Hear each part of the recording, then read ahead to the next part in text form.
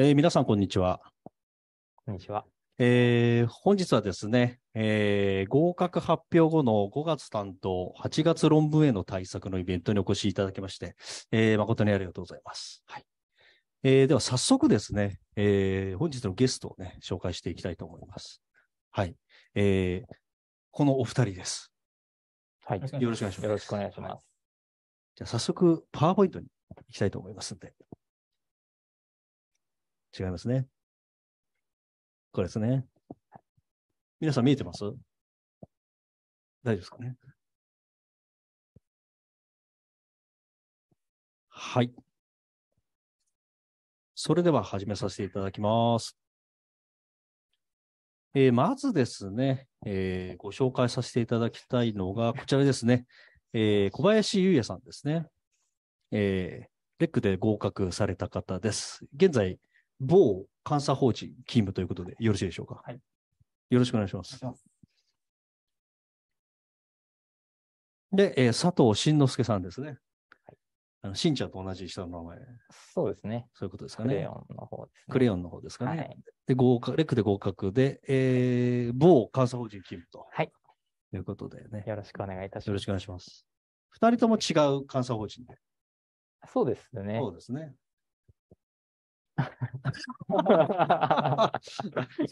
はいい。住所。で、司会は私です。よろしくお願いします。はい。えー本日のトピックです。まず、えっ、と、担当式試験の、えー対策についてですね、お二人に具体的なものを、えー質問する形で聞いていきます。論文式試験。で、その後、えー Q&A ということにさせていただきます。はい。えーまず、担当式試験なんですけども、まあ、5月の担当式、まあ、結構厳しい戦いになると思うんですけども、はい。えっ、と、まず財務会計論ですね。はい。えーお二人にお聞きします。伝統論はどういう勉強をしていましたか、はい、小林さんどうですかね？過去問だったり、あとは答練で出題された問題をベースにして、まあ、その問われ方であったり、きっかけポイントを意識しながら、まあ、テキストに振り返るといった内容で取り組んでおりました。あとはまあ、資産負債アプローチだったり、そういった定義は、まあ、自分の言葉で軽く説明できるようにはしておりましたね。ありがとうございます。佐藤さんですか？はい。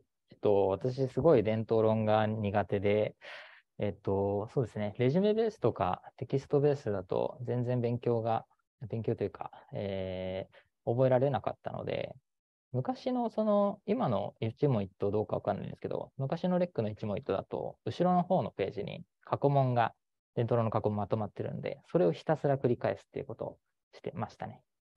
ありますね。いまだに伝統論は一問一答には200問以上計算されているんで、あれましてら多分大丈夫です。そうですね。企業結合、事業分離は切ってもいいでしょうか？こういう質問が多いんですけども。はい。佐藤さんどうでしょうか？えっと、まあ、その、結構周りに聞いた話ですと、今、あまりその難しい企業結合とか事業分離は出てないっていうことで、えっと、まあ、こういう質問に至ったのかなっていうふうに思うんですけど、えっと、そうですね。58を前提としているのであれば、えー論文で出たときに、まあ、その企業結合事業分離切ってると、あの、正直危ないんですよね。まあ、切ってたらちょっと、うん、落ちちゃうかもしれないんで、12月の人だとかだと、まあ、切ってもいいかなっていう話するんですけど、5月、8月だとちょっと頑張ってくださいっていう風な形で、担当の時も、もうそうですね、5月に向けても勉強していいのじゃないかなっていうふうに思いますね。ありがとうございます。小林さんどうですかね？私も、まあ、同じようなあー理解でして、その12月、その担当だけに特化するのであれば、あーまあ、切っても問題ないかなって思うんですけれども、論文だとやっぱり必須になってくる論点なので、論文を見返すのであれば、まあ、必ずあの対応すべきかなと思います。ありがとうございます。えーっと、簿記と座標、まあ、つまり、えーっと、計算と理論は、えー一緒に学習した方がいいと聞いたのですが、本当でしょうか？小林さんどうですかね？まあ、実際にこう、理解、計算の、まあ、理解になるっていう点では、まあ、一緒に学習した方がいいっていうのはあるんですけれども、まあ、実際にこう、て計算のテキストを解くときに、その一緒に理論のテキストも開きながら解いていたかって言ったらそうではなくて、その計算の問題のときに、論点となり得るところをこうパッと思い浮かべられるような、そういった感じで解くのがいいのかなというふうには思っております。ありがとうございます。佐藤さんどうですか？えっと、担当の勉強してた頃を振り返ると、えっと、座標を、のレジュメを読んでて、わからなくなったら、簿記を解いてみるっていう風な形でやってました。で、簿記を解いた後に座標のレジュメを見ると、あ、こういうことね、という風に理解できた記憶があるので、まあ、順番としては、あ順番としてはというか、座標を見ていて、ちょっとわからなければ、簿記を解いてみてっていう風な流れですかね。まあ、結局は、あの、財務会計論の理論って、いわゆるぼ仕分けの理由付けみたいな感じですからね。だそっちの理屈的なものが分からなかったら、実際仕分けが 載ってる方を見て、はいっていうのはまあ間違いないかなと。ですね。はい。え計算のアウトプット教材として優先的にやった方がいいのは何ですか？ね担当ですけども。佐藤さんどうですか、と間違いなく担当問題集を 優先すべきで、結構レックの担当問題集は、なんかあれで論文まで、まあ戦えるんじゃないかなぐらいのいい感じの完成度になってまして、あとはそれにプラスして、あのー論文の答練とかで解き方を学んでいくっていう風な形になるので、まあ、優先というよりは、もう、何ですかね、担当問題集と一緒にこう担当頑張るぞと、担当を目指すぞみたいな感覚で、で、まあ、少し答練とかも、えー、まあ担当問題集に載ってない論点を、なんですかね、別にちょっとファイリングして、それも問題集に加えるみたいな。感じですかね。はい。小林さんどうですかね？私はテキストの説例ですかね。もこう、本当に佐藤さんおっしゃったように、担当の問題集だったり、テキストの設定さえ解ければ、論文も突破できるぐらいの、あの、テキストの、あ、レックのテキストは質が高いので、で私は、あの、いろんな問題集に手を広げすぎて、合格に時間がかかったものでして、うんこう受験期間をやり直せるならば、もう担当問題集だったり、テキストにをだけをこう解くようにするう、と思うので、もう皆さんもそれに特化した方がいいかなと思います。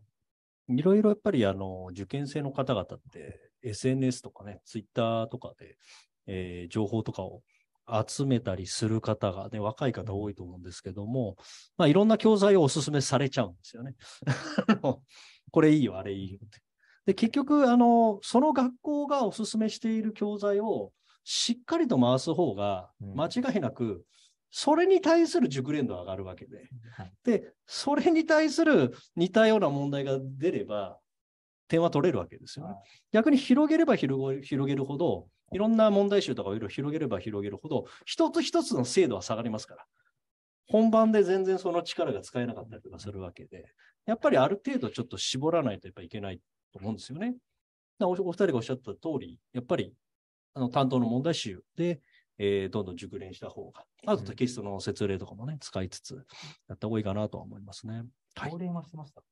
答練は、えっと、担当問題集に、で、まあ、その論点ないものだったりとか、違う、何ですかね、このレイアウトはちょっと新しいな、みたいな、そういうのはい。そういうのは同じ論点でもそういうのはなんか見るようにしたりとかしてましたかね。まあ、答練はね、一回ぐらいやり直しをした方がいいんじゃないですかね、やっぱね。はい。うん。はい。えー理論の学習はどのように行っていましたか？はい、小林さんお願いします。まあ担当であれば、まあ、一問一答の反復であったり、まあ、そこでこう説明できない、理解できしてないものについてはテキストに振り返って、えー最悪講義にも振り返って、理解の土台を作うんりましたね。はい。一問一答ということですね。はい。佐藤さん。と、私は、えー先ほどレジュメを読んでいてっていうふうな話をしたんですけれども、基本的にその自分の身になったなっていう方法は、あ、ちょっと近めで。はい。持った方がいい。です持った方がいいや。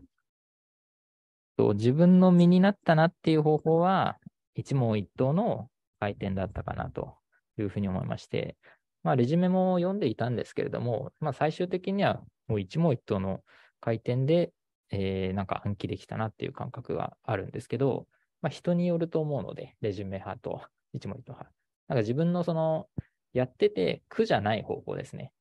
継続できる方法を選んだ方がいいと思います。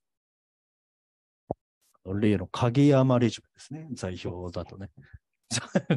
座標の鍵山レジュメは本当にこう、いい感じで絞られてるんで、は いあれが多分おすすめかなとあれで論文も戦えるみた多いな分そうですねうんはい。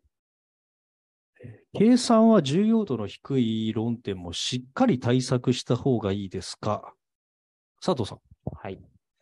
えー学習、えーっとですね、担当に受かった頃は、頃はというか、担当に受かる前は、本当に重要性の高いものばかりを回していて、えー、何ですかね、A 論点、B 論点とか。でも、正直、その点数が伸びたなっていう感覚が出たのが、その C とか、そういった低い、重要性の低い論点にこう手を伸ばした時なんですけど、それでもあまりその C でも難しいところを伸ばさず、まあ、C の問題を解いてみて、えー問題とかまあテキスト説例見てみて、これなら簡単にできるなって思える C の論点もあるので、そういったものは手を広げてもいいのかなと思ってますけれども、ごっぱちを考えるのであれば、えっと、そこはちょっと悩みどころですね。えーまあ、ごっぱちを前提とするのであれば、ちょっとやらない方がいいのかなっていうふうには思います。はい、ありがとうございます。小林さんどうですか？ねえー私もまあ基本的には同じで、まあ、時間見合いではありますけれども、直近の試験、論文だと、最近だとあの四半期の問題が出題されたり、ちょっと幅広く出題されているような印象を受けるので、まあ、個人的にはできるのであれば、あ全部切るっていう論点はなくして、幅広くやった方がいいのかなと思います。あと、まあ、一株当たりの純利益とか、なんかそういうのって、あの担当とかだと全くいらないですけど、実務だと結構使うそういう科目もあるので、やっておくと後々使えるなって思う論点もたくさんあると思うので、まあ、時間許す限り幅広くやられるのがいいと思います。ありがとうございます。えー計算問題集を改定していく中で、さっきの問題集ですね。うん意識していたことを教えてください。小林さん。まあ、あ私、あ、すみません。私は、まあ、答えが出せたから OK とか、なんとなく回転しない、あー解放のプロセスまで自分がこう言葉で説明できるぐらいしっかり解くように意識してました。だから問題によっては半日使うこともしばしばあったように思いますね。一問で。はい。以上です。ありがとうございます。佐藤さん。とあ、そうですね。と理解の、えーまあ、解いて、解いた結果、まだちょっと理解浅いなって思った問題だったりとか、まあ、間違えた問題、そういうのには、もう三三角とか、まあ、そういうのは、何ですかね。ちょっと甘えなので、×をしてですね、えーちゃんとちょっと恥ずかしがらずに×と丸で、で、区別して、えーあとは、まあ、全体を、えー回すのと並行してですね、その×ってつけたものも回していくと。だから、なんですかね。えー、うーん、全体を、伝わりますかね？全体を回しつつ、はい。それとは別に、回してるのと別に、えー×のものを回していくっていうような感じでやってました。だから、その苦手な問題の問題番号にマークをつけるってことですね。はい。恥ずかしがらずに。問題集問題。そう、はい問題集回していって、はいで、さらに、えー三角とか×だけをピックアップしてまた回していくみたいな。三角は、ちょっと、甘いです。と甘いです。じゃあ、丸か×。丸か×ですね。それ僕、会計士受験生じゃなかったですけど、あの、簿記とか税理士試験の方でしたけど、それやってました。問題集で、もん解いた問題に対して判定をシャーペンで書いていくっていうの。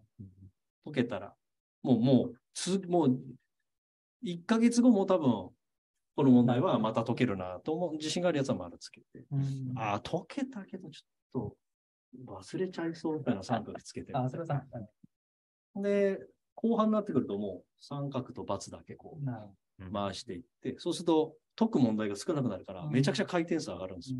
ど。しかも最終的に残った三角とか×ついてるやつって、本番でも間違えるから、それだけ持っていくみたいな。なりますよね。えー計算はまとめノートやミスノートのようなものは使作ってましたか？佐藤さん。はい。えっ、と、私は作った経験があります。で、その経験から言うと、えー正直基本的には作らない方がいいです。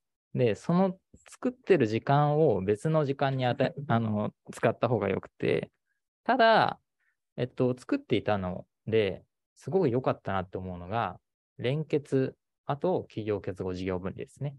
まあ、作り方としては、連結は、えっと、タイムテーブルと、その連結固有の論点の仕分けを書いておくっていうまとめにして、で、企業結合と事業分離は、えーまあ、企業結合だと合併交換とか移転とか、その、えー組織の流れの、えー合併前と合併後の図を書いて、で、まあ、仕分けを書いておくと。そうですね。で、移転は、その他の株式からその他に株式になる場合とか、その他の株式は関連、その他の株式から子会社、子会社から子会社とか、そういうふうに分けて、えっと、まあ、各パターンの仕分けをですね、書いておくと。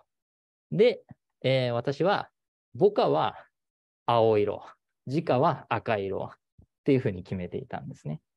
まあ、そういうふうに自分で決めておけば、あの、まとめノート、あの、答練の直前とか試験の直前に見たときにパッと視覚的にあの思い出せるので、いいかなっていうふうに思いますね。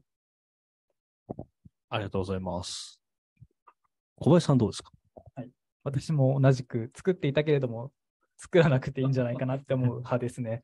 ああ本当に、後々、僕も作ってたんですけど、見なくなるので、うんいらないと思いますし、先ほどおっしゃったように、下書きは、あの、計算問題集の余白とかには一応記載はしておりましたね。うん。そういったミスノートとかは作ってませんでした。はい。さっき言ったあのね、あの、丸三角×とかを問題集の問題番号につけている、それがもう間違いノートになってるんで、そ それはね、あとまあなんか忘れやすいテキストとかにポストイット貼るぐらいはいいんじゃないですかね。うん。いざという時に見ておけるような感じで。うんまあそれぐらいでいいと思いますね。おっしゃる通り、えっと、ベテラン受験生の方々の中で、このまとめノートとかミスノート、まあ、特に多分まとめノートですかね。うんとんでもなく時間をかけて作るわけですよ。もう創作創作。これ作るのに1ヶ月かかりました。いや、その1ヶ月を一問一答回した方がよかったんじゃないかみたいなのがあるので、何かを自分なりにまとめるっていうものは必要なんだけど、既存教材を利用してまとめた方がいいわけですよ。皆さんにすでに配られたテキスト問題集をこう使ってね、それ自体をこう、うまくこうね、あの、見直しできるようにした方がいいと思って、はい。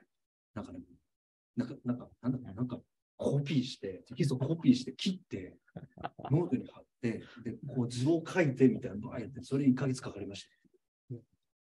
そうですね。そこまではしなくていいかなと。いや、そのね、テンションはいいですけどね。そうそうやってる感が やってる出ますからね。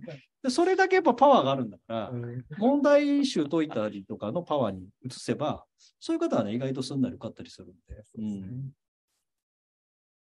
ゃあ次、管理会計論ですね。行きたいと思いますね。標準原価計算の計算はどうしたら得意になりますか？まあ、避けて通れないですね。小林さん。まあ、イメージと計算パターンの暗記ですかね。あーまあ、標準原価計算の場合、例えば資損自品がある問題だったり、減損があるものだったり、その混合したものだったり、そのいろんなパターンがありますと。そのパターンごとに、まあ、下書きだったりを自分なりに準備して、ある程度パターン化して解くようにはしておりました。ありがとうございます。佐藤さんですかはいと、これに関してはですね、私正直ちょっとアドバイスというアドバイスがなくてですね、ただ私もそのすごい得意ではなかったんです。なので、何やるかっていうと、もう得意じゃないけど、もう何度も分かるまで講義を聞くっていう風なことをしてました。で、最終的にちゃんと分かったかっていうと、ちゃんとは分かってないんです。ちゃんとは分かってないんですけど、何度も講義聞いてると、ああ、なんか、ちょっと、まあ、なるほどねぐらいにはなるので、まあ、それで解ければいいっていう感覚で、正直その試験はいいと思うんですよね。なんで、その解けるレベルまで、こう、理解できるまで講義を聞くとか、そういったことで、なんですかね、その力技ですかね。何度も何度もやるしかないのかなって思いますね。はい、ありがとうございます。えー過去問が難しすぎます。計算が全く取れません。えー理論に逃げてよろしいでしょうか？佐藤さんどうですか？えっと、えーそうですね、最近の管理会計論の試験だと、おそらく理論で40点満点ぐらいなのかなって思うんですけど、えっと、基本的にその受かる人って理論で30点以上ぐらいは取ってるんですね。なので、逃げるイコール、もう満点近くを狙うみたいな感覚になると思うんですけど、それでも40点ですよね。で、えっと、まあ、過去問が難しすぎますってことなんですけど、難しい中にも過去問の中には簡単なものもあるはずなんですよ。あるはずなので、えっと、まあ理論で30点以上を取るという気持ちで、えーあとは、まあ絶対に解けるものはあると思って、それをちょっと探してほしいですね。難しいのは本当に難しくて、うん。なんか、そうですね。時間、難しい、難易度的に難しいのと、もう時間すごいかかっちゃうものとかあるんで、まあ、そういうのは、まあ、過去問を難しいって理解できることは、何ですかね。逆に、学習が結構進んでるっていうような ことなのかなと思いますし、うん。まあ、答えになってるかわかんないですけど、まあ、逃げる覚悟あるのであれば、満点を狙って、逃げなくてもちょっと30点以上理論は取ってほしいですね。うん。ありがとうございます。小林さんどうですかね？まあ、これは私は計算をある程度こう取るように対策すべきかなっていうふうには考えてます。この後の論文式試験のことを考えると、理論で稼ぐのはほぼ不可能だと思ってもらって構わなくて、もう計算問題の A ランクの問題をいかに落とさずにあの取り切るとかっていうのが、後々の論文合格にあの必ず必要なことなので、担当式試験からある程度 A ランク、B ランクの問題はあ対応できるように、あの、ちょっとき難しいことかもしれないですけれども、あの、対処すべきかなというふうには思いますね。うんありがとうございます。まあ、あの本試験終わったら、ね、うんどの、ねどの学校も多分、配当速攻みたいなの出すと思うんですけど、そこに正当可能性、高、中、低みたいなの出すんですはいよ。すべての問題についてって。それの高と中がね、やっぱり取れるようになってないと、やっぱり本試験は結構厳しいかなとはい思いますよね。はい。はいえー原価計算基準は問題を解くだけでなく、原文の暗記も行った方がいいですか？これ意外とね、多い質問だったんですけどうん。はい。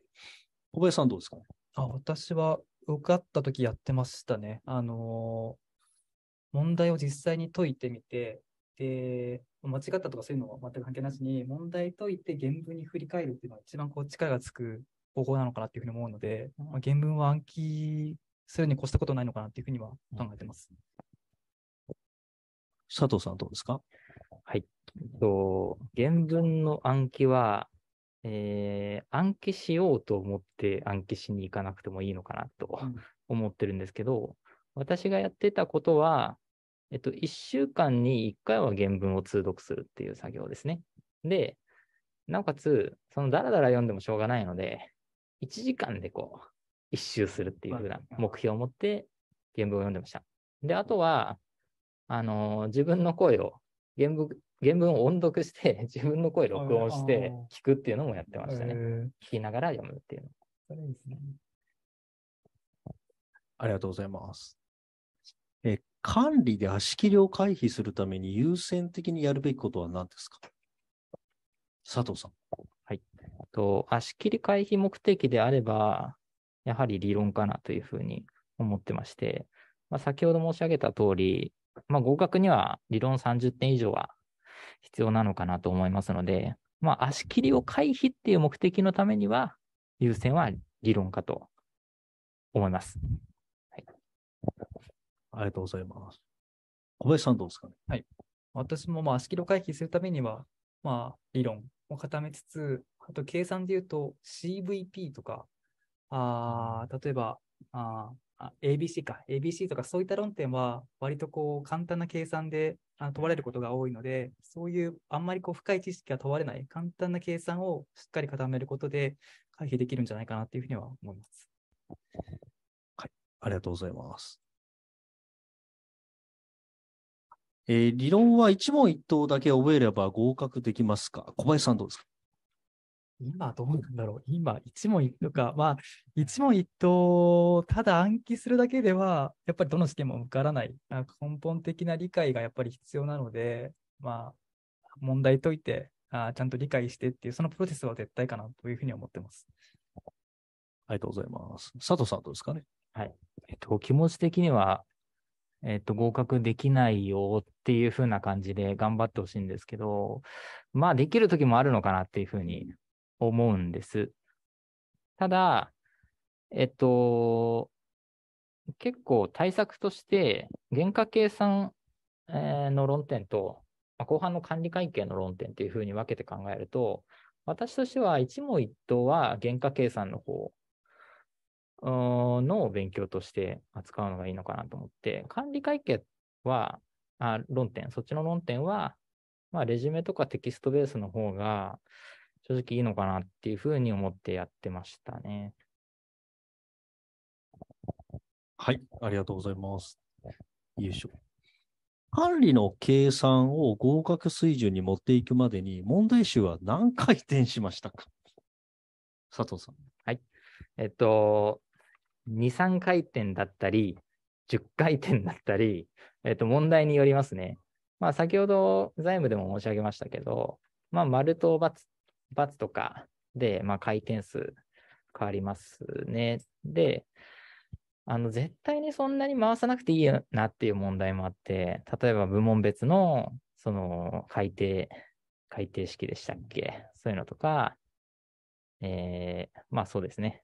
まあそういうのは、解き方を覚えれば、何度も何度も、なんですかね、あれを解いてる時間って、もうただの作業 かなっていう感じもするので、正直ああいうのは、えっと、もう問題集に書いちゃって、解き方だけ、もう問題解く前に、あの、イメージして、それが、イメージ通りに、問題集にその下書きとかが書いてあるのを見て、えー一致してれば、考えた通りだなって思ってればそれでいいのかなって思うので、何回も回転するものじゃないのも問題にはあるかなって思いますね。ありがとうございます。小林さん、どうですか？まあ、結論としては5回転ぐらいかなと思いますね。それぐらいして合格水準に持っていたと思います。はい。ありがとうございます。うんまあちょっと単純な問題とかがね、そうですもうなんか3回転目、4回転目ぐらいでうん、単純な総合原価計算のもうなんか、もう分かってるよみたいな。地位勘定に金額入れてもう電卓叩きゃ合格できるだろうみたいなやつはまあやんなくていいと思うんですよね。まあそうですね。まあ減損とか子孫とかが、あと評価額があるもの、はいえー副産物とかが存在する連中とかに対してはまあ、ちょっとこう、うん電卓叩いたり、もういいやって思ったときは、やっぱりそれも T 勘定に金額入れて、うん合ってたらまあいいんじゃないですかね。あとは電卓の勝負ですからね。うんはい。管理会計に苦手意識があるのですが、どうしたら克服できますか？小林さん。これはすごくわかりますね。僕も苦手だったんですけれども、あーこれは僕は一つずつこうできる論点を増やしていくことで、ちょっと苦手意識が和らいだなっていうのがありまして、まあ、先ほどの例で言うと CVP であったり、ABC であったり、そういったこう解ける問題、論点をちょっとずつ増やすことで、まあ、苦手意識が和らいだかなというような印象があります。佐藤さんどうですかね？はい。えっ、と、同じです。うん以上になっちゃうんですけど、まあそうですね。もう解ける問題を増やしていって、克服するしかないかなっていうふうに思います。まあもう、やるしかないですよね。それはね、皆さん必ず苦手なものはあると思って。計算で考えてもわからない問題は、すぐに答えを見ても良いですか？佐藤さん。はい。良いと思います。えっと、そうですね。まず管理会計の問題も財務もそうなんですけれども、まずは問題文を見て、で、実際に回答までの流れを頭で思い浮かべてみるんですね。で、思い浮かべてみて、回答まで行き着かなければ、もうそれはもう回答を見ちゃっていいと思います。うん。もう逆に行き着けば、もう自分の書いた下書きはまあ取っといてもらって、それを見て、イメージ通りっていうのを確認すれば、電卓も叩かなくていいのかなぐらいには思ってます。ありがとうございます。小林さんどうですかね？はい。私もすぐ見ていいと思います。ただ、わからない問題自体は、あのーえ先生にこう、直接質問したり、まあ、そういうサポートは充実してると思うので、そこはしっかり頼って、わからない問題は、あの、わかるようにするのが一番いいかなと思います。まあね、よく簿記とか管理会計論の計算問題で言われるのが、1、2分考えて、こう、何も思い浮かばなかったら、完全に忘却してるんで、だからずっと10分で考えてる方いらっしゃるじゃないですか。問題第1問つってこうずっとこう考えてる。本試験もそうだし、問題演習してる時もそうなんですけど、飛ばさなきゃ。で、こん今回で言うと、もうすぐ答え見ちゃっていいんですよ。なんでかというと、もう忘却してるんだからうん、いくら考えても多分思い出さないですから、きっとね。で、本試験の場合だと、その問題がたとえダメだったとしても、その先にあなたが解ける問題がある可能性があるんだから、そっちに時間をちゃんと残してあげないといけないという意味で問題を飛ばさないといけないんですよね。本試験で第1問は簡単なはずだと思ったら違いますからね、実際。急にめめちゃくちゃ難しい問題もある場合もあるんで、考えて分からなかったらまた飛ばしてみたいな。で、えー最後の問題まで行ったら、やっぱ戻るっていう作業をして、もしかしたら思い出す可能性もあるわけですから。っていうのを、あの、問題集を解く時点でね、やっぱりやるべきかなと。分からなかったらもう、ね、答え見ちゃっていいんでってことですよね。ううん。それはやっぱり必要かなと。時間もったいないですからね。はい。で、次、監査論。担当の監査論。会社法監査の勉強方法を教えてほしいです。小林さん。会社法か。会社法だと、僕は、あのー、東連ですね。東連の会社法部分と金賞法部分を、こう、集めて、で、それをもう回転教材としてやってたので、もう、東連ベースでいっぱい解くみたいな感じでしたね。はい。佐藤さんどうですか？はい。えっと、正直、その、会社法監査、特有の論点ってなんだっけっていうふうに 今、なっちゃってるんですけど、あー会社法は大会社の会そうそうそう会社について監査するものだよな、とか。まあ、ただ、そうですね。うん。まあ、基本的に監査論は、あの、過去問ベースで私はやっていたので、まあ、その会社法監査の勉強方法も、おそらく、まあ、過去問ベースになっていると思います。はい。ありがとうございます。えー、監査論の担当は、過去問学習で十分というお話は本当でしょうか？答例はガン無視で良いでしょうか？佐藤さん。はい。えーっと、こういう質問になると、絶対にガン無視は、東連のガン無視は良くないですよね。で、えっと、過去問学習で十分っていうおはいうお話っていうのもあるんですけど、あのーまあ、確かに、監査論は、あの、過去問の焼き直しが多い科目であるんですよ。で、焼き直しが多い回にあたると、本当に監査論の過去問学習だけで8割超えるんじゃないかぐらいの回もあるので、えっと、過去問学習をベースにするのはいいと思うんです。ただ、その過去問の焼き直しが少ない回とかに当たったときに、正直それで対応できるかっていうと厳しいので、私は、えっと、過去問学習と合わせて、まあ、ちゃんと東連も、あのーまあ、解いて、で、新しい、うん過去問でやったことないぞ、これっていうのは、もちろん回しましたし、えっと、まあ、レジュメベースでも、あの、読むようにはしていたので、ただまあ、過去問出たら、あの、絶対解けるみたいな感覚には、あの、試験直前になってましたね。小林さんどうですか？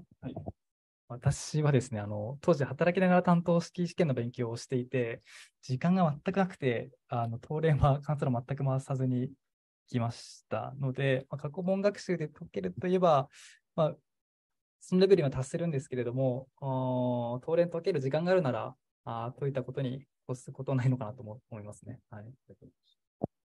まあ、過去問を主体に、まあ、東連もし買ってるんだったら、まあ一応ね、うんうん。ちゃんと受験して、その力が活かせるかぐらいはやっぱちゃんとね、見た方がいいと思います。で一問一答問題集、レックの一問一答問題集、後ろの方にはい。過去問がどっさり入ってるので、うん。そっちを回しつつ、はい。苦手な論点が多分あると思うんで、うん。そしたら一問一答問題集、前の方に論点別の問題があるそっちをちょっと回すっていう使い方もいいんじゃないかなと思いますね。だから、後ろの方を主体に回して、弱い方を、あの、論点だけの項目の方の一問一答で回すみたいなね。えー監査論で安定して7割超を取るには、どのようなか勉強法がおすすめですか？小林さん。勉強法。まあ、先ほどちょっと論点に出た会社法監査と金賞法監査の問題については、あれは暗記してるかどうかなので、そこは絶対に落とさないと。あとは、継続企業の前提、GC の問題とかも、あれもパターンで暗記できる、暗暗記で対処できるものなので、そういったものについても落とさないような学習をすることで、7割は平均して取れるんじゃないかなというふうには思ってます。ありがとうございます。佐藤さんどうですか？と、小林くんがあの、模範解答したんですけど、私は過去問をひたすら繰り返す勉強から入ったので、えっと、それで正直なんか、まあ私が受けていた回までは、6割は切らないんじゃないかなぐらいのレベルには持っていけたと思ってるんです。で、なのでまあそうですね、過去問とやって、まあレジュメもやると。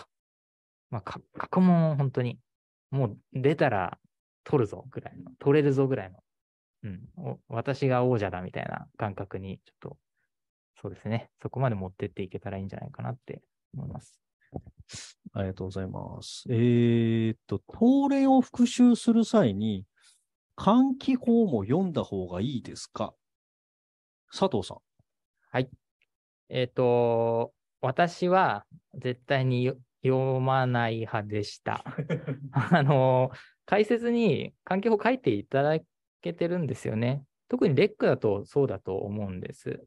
なので、まあ、換気法を読んだことない受験生ってどうなんだっていうことはあると思うんですけど、正直受かればいいので、で、受かった後にたくさん読んでいただきたいという気持ちです。はい。小林さんどうですかね？私も読まない方がいいかなって思います。あの、ベテラン受験生ほど、でっかい換気法の分厚いやつを買ってきて、読んでるのがすごく印象があって、試験に合格するっていうのだったら、もう本当にテキストと答練だけでいいっていうふうに思いますね。はい。ありがとうございます。なんかね、もう、ね、FF の攻略本ぐらい分厚いですもんね、あれね。あれやばいですよね。企業法。金賞法が苦手なのですが、アドバイスをいただけませんか？小林さん。まあ、これも答練部分を、まあ、ひたすら解くと、あと一問一答か結構あるので、そちらを回転させることで、あー苦手意識なくせるんじゃないかなと思ってます。ありがとうございます。佐藤さん。えっと、私は金商法、私もちょっと得意ではなかったのですが、えっと、やり方としては一問一答に絞っていました。で、一問一答やって一問一答で、えっと、まあ、それになかったものは、まあ、正直みんな解けると思わないんですよね。で、もう他の受験生もごっそり切ってる方も、もう大半、大半だと思うんですよね。なので、一問や一答を抑えてること自体がすごいアドバンテージになってると思うので、正直、金賞法はその一問一答ベースでやってもらって、あとは、まあ、アドバイスとしては、その、何ですかね、二択とかになった時とか、どうしてもわかんないなって時は、その金賞法って、第1条で、国民経済の健全な発展と投資者保護を目的として挙げてるっていうのがあるので、そういう目的にちょっと立ち返ってみて、それに照らしてどうなんだっていうふうなのを考えて切るっていうのはあると思うんですけど、うん、そうですね。まあ、正直それで切れる問題っていうのはまあ少ないかなと思って、うん、まあ一問一答ベースがいいんじゃないかなって思いますね。あと、まあ、ここだけの話なんですけども、12月、去年の12月向けの企業法の一問一答は、今年の5月に使えるのかっていう質問がたくさん来るんですけども、えちょっと難しいお話で、使えますうん。けど、新たに追加された範囲があるんですね、5月に。それは入ってません。でも、一問一答、12月向けの一問一答に入っている連中は改正を受けてないので、使えます。うんつまり何がいけたいかというと、5月向けも買っていただけると、これ新しい範囲入れてるんで、はい。で、ここまで、あの、あ新たに入った新しい範囲の問題を、あそこまでこう、しちゃんとした問題として入れてるのは多分うちが初めてだと思いますんで、うん、ぜひともっていう感じですかね。はい。えー、覚え方のコツはありますでしょうか？つまり企業全体ですね。佐藤さん。はい。えっ、と、そうですね。覚え方のコツは、とにかくアウトプット重視。うんえー問題を解くことだと思ってます。で、問題を解いた上で、ちゃんと解説を読んで、確かにその理由なら、あのこの回答になるな。っていうふうなのを、まあ理解するのが、えーまあ覚え方としてはいいんでしょうけれども、それに躍起になってもしょうがないので、正直、企業法って暗記科目なんですよ。ですので、えっと、まあ、時間があれば、そういうのをちゃんとこなしていただきたいんですけれども、まあ、時間なければ、本当にテンポよく、もう、なんですかね、1ページ、こう、何分でこなすぞっていう風なのを目標に決めて、テンポよく、もう一つの足で、あーって考え込まないようにして、やるのが、まあ、覚え方のコツかなっていうふうに思います。はい。小林さんどうですかね？私は、こう、企業法だと何が論点になるっていうのが分かりにくいことが暗記しにくい、こう、理由になっていると思うので、レックのテキストだと、表ベースでまとまってる箇所があると思うんですけど、その表だけを暗記するようにしたら、比較的暗記が楽にできるようになったので、あそこも論点も、あの、すべてまとまっているので、図表だけを暗記するのが一番いいのかなというふうには思ってます。追加いいですか？はい、はい。いや、今のではい、思い出したんですけれども、えっと、アウトプット重視って言ったんですけど、一問一答のアウトプットで、まあ、一問一答をインプットの、まあ、教材としても活用してて、えっと、そこで断片的にこう、一つ一つ知識を覚えてって、最後、その、さっき言ったまとめ表みたいな、テキストのまとめ表とかに戻ると、頭の中が整理されるんですよ。あ、この一つ一つの足の回答、うん問題のが、もう表で見ると、あ、なるほど。綺麗にこう整理できるなとか。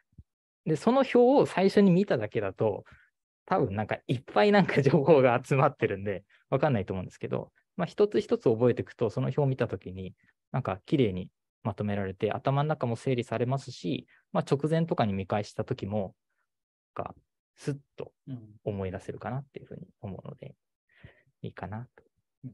はい。追加でした。ありがとうございます。この表はいいですよ。う。んですね。基本的な定義は暗記した方がいいですか？小林さん。担当対策であれば不要かなと思います。後々企業、あの 論文では必須になりますけれども、忘れてしまうので、担当対策では不要、識別できればいいかなと思います。佐藤さんですか？はい。えっと、小林くんと一緒で、定義の暗記はいらないかなと思っていて、まあ意味が分かれば問題ないかなと思ってます。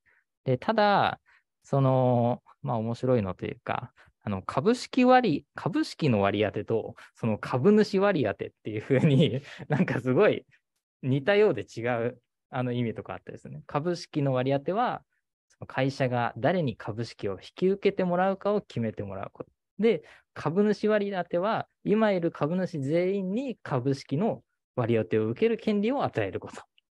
まあ、その似たような言葉で、あのーまあ、文字見ると、どっちかわかんなくなっちゃうかなって思うので、株主割当と思ったら株式の割当だったっていうことがあると思うんで、はい。まあ、そうですね。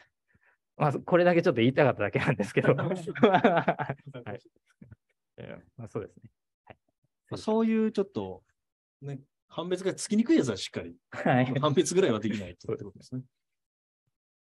一問一答と答練を、答練はどちらを優先して覚えた方がいいですか？佐藤さん。えっと、間違いなく一問一答で、私はレックの一問一答企業法に絶大な信頼を置いてまして、あれで、まあ、7割は切らないかなっていうふうに思っているので、まあ、一問一答を優先していただければなと、まあ、あの、お好きにですけれども、一問一答かなって思います。小林さんは？一言一句同じです。ありがとうございます。あの、一問一答は毎回アップデートを、えーしてるんですけども、あの、出題可能性をこう考慮してですね、大きく、あの、改定も実はやってまして、えー改正があると同時に大きく改定をしてまして、なんでぜひ絶対、絶大な信頼をかけていただいてもいいかなと思います。ものすごく乱暴な方がいられ、おられまして、1年の担当合格コースを受講されている方で、えー5月向けのコースだったんだけど、まあ、12月も受けたいということで、そうするとカリキュラム半分しか終わってないんで、えー企業法のインプット多分8コマぐらいしか終わってないんですね。前半のね、入門講座しか終わってなかったんですけど、でもどうしても合格したいっておっしゃってたんで、まあ、一問一答ガン回ししろっていうお話をね、お伝えしたら、えー、74%、この前の試験取られてたんで、あのインプットほとんどやってないんですけど、まあ、まあ、ガン回ししましたっていう話はですね。で、監査論も一問一答だけで、同じ73か74%ぐらい。12月取られてたんで目標が5月の試験。そうですね。はい。で、その方受かってました。はい。5点刻みじゃなくても74とかになるんですか？74%ですね。うん。74あ、でも、少数ではあるのかな？わかんないですけど。あーまあ、ただ、メールにはそう書かれてましたね。うん74%ぐらいで。受かってましたね。はいはいはいだからすご、すごいですよね。あの、講義あんまり受けてない監査と企業の点数でこう、うんひ引き上げたみたいな。管理と財務はね、全然ん7割はいってなかったみたいですけど。はい独学。すごいですね。監査企業独学ってちょっとやばいですか ちょっとこれはね、乱暴すぎますけども、まあ、それだけね、アウトプット教材、インプット教材としても両方ともいけるのかなと思いますね。はい。で、えー担当式試験の、まあ、その他のご質問で結構よくあったのが、まあ、直前期はどういう勉強をしていましたか？小林さんどうですかね？あの基本的に暗記ですね。あの先ほども申し上げましたけど、働きながらちょっと勉強していて、まあ、ん理解していない論点も多々あったんですけれども、まあ、講義にこう聞き直すとかそういうことは全くせずに暗記に特化してあの勉強してました。